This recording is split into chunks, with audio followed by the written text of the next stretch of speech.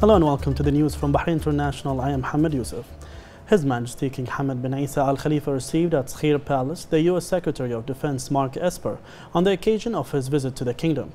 His Majesty hailed the strategic relations and partnership between Bahrain and the U.S., as well as the development and growth of bilateral cooperation in all fields, especially in military and defense.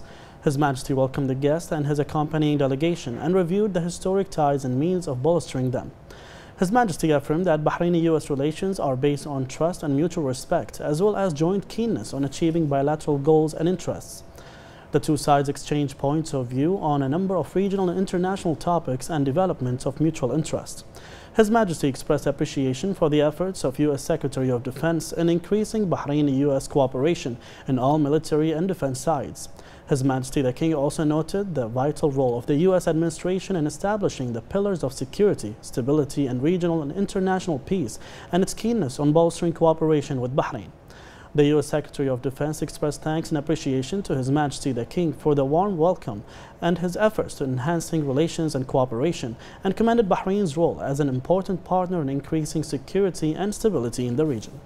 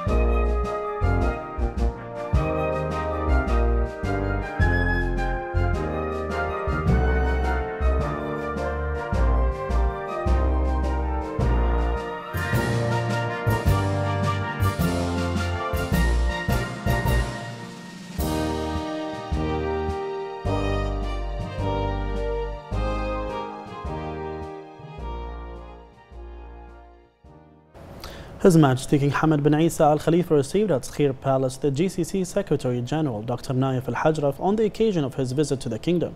His Majesty reviewed with Dr. Al Hajraf several Gulf issues, especially in regards to boosting GCC action to achieve the aspirations of GCC people towards further development and prosperity. His Majesty commended the pioneering achievements that have ma been made by the Council to reinforce GCC joint work and increase its effectivity to further reinforce comprehensive action. His Majesty the King expressed appreciation for the efforts of the Secretary General and all the staff of the General Secretariat to push forward GCC work and strengthen cooperation among member states towards more gains in all fields. The GCC Secretary General expressed thanks and appreciation to His Majesty the King for commending the work of the GCC, asserting the vital role and efforts of the Kingdom of Bahrain to expand cooperation in addition to its supportive contributions to further develop Gulf actions. The Speaker of the Representatives Council, Fawzia Zainal, chaired the weekly session in which, in which the session discussed a number of parliamentary committee reports, including the Services Committee report. It also discussed the parliamentary committee's reports, including the Legislative and Legal Affairs Committee reports. The Speaker of the Representatives Council, for Fawzia Zainal, sent a cable of congratulations to member of the Representatives Council, Adel Assoumi, on his un uncontested election as Arab Parliament Speaker. She stressed that the achievement reflects the big strides made by the Kingdom of Bahrain in democratic work and its remarkable presence in the Arab arena. She added the accomplishment also underscores Al Assoumi's role at the Arab level and it is a recognition of the Kingdom's big strides in the democratic march. The Minister of Interior and the Chairman of the Committee to Counter Extremism, Money Laundering and Terrorism, General Sheikh Rashid bin Abdullah Al Khalifa, affirmed that Bahrain enjoys a special legislative environment based on the best practices in the fields of finance and the economy, at a time when Bahrain is enhancing its competitiveness in all fields.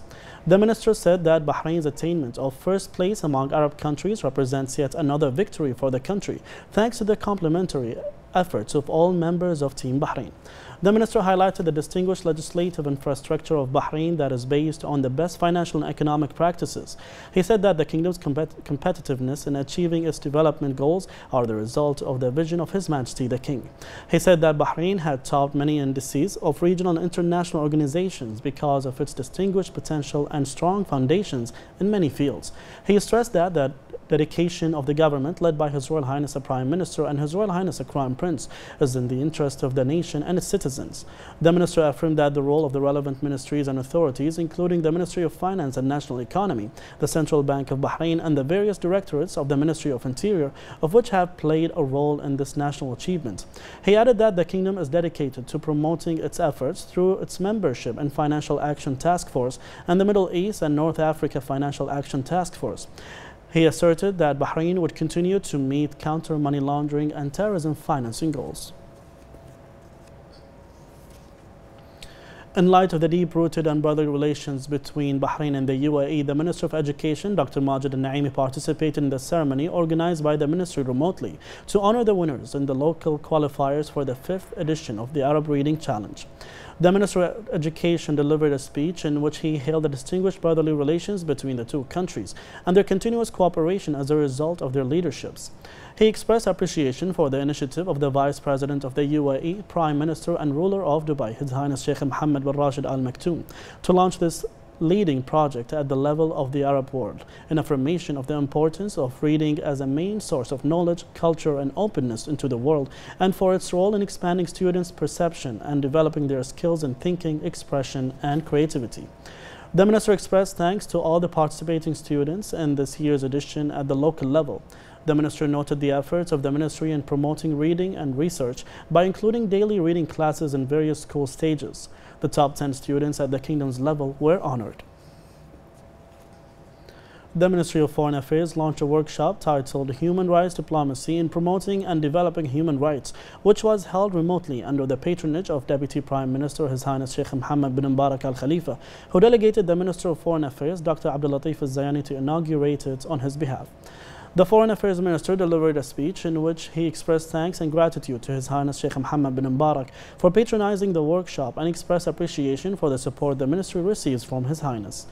The minister stated that the ministry's role and responsibilities are not limited to protecting the sovereignty, independence and interests of the kingdom, developing cooperation with various world countries and exerted efforts to achieve security, stability and sustainable development, but also include strengthening the pillars of the kingdom's strategy in achieving justice, equality and law, as well as spreading the culture of tolerance, coexistence, acceptance and establishing the values of peace and brotherhood among nations. Dr. Zayani added that Bahrain managed to implement many leading initiatives and projects in the field of human rights as a result of the comprehensive development march of His Majesty the King, the efforts of the government led by His Royal Highness the Prime Minister and the support of His Royal Highness the Crown Prince, which provided an environment that protects human rights. He noted that the ministry is keen on deriving its human rights diplomacy from the visions and directives of His Majesty the King to establish a country of institutions and law according to main legal constants that were embodied in the National Action Charter.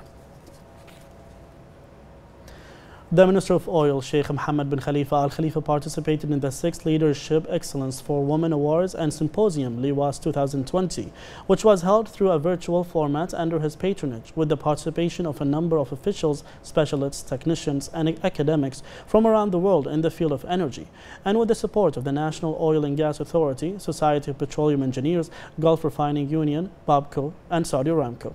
The Minister of Oil affirmed the continued sponsorship of the activities of LEWAS, which demonstrates the care and support enjoyed by women in Bahrain from His Majesty King Hamad bin Isa Al Khalifa and the government. The Minister also praised the efforts made by Her Royal Highness, the wife of His Majesty the King and President of the Supreme Council for Women, Princess Sabika bint Ibrahim Al Khalifa, and her keenness to promote the reality of women in the kingdom. The minister stated that the forum is a scientific and practical platform for learning from women leaders who have made remarkable achievements in various fields and communicated with their counterparts in the energy sector. In line with the latest updates, which are periodically assessed and based on the recommendations of the National Medical Task Force for combating the coronavirus. Indoor dining services at restaurants and cafes resumed on the 24th of October, capped at 30 customers per cafe or restaurant. More on this report.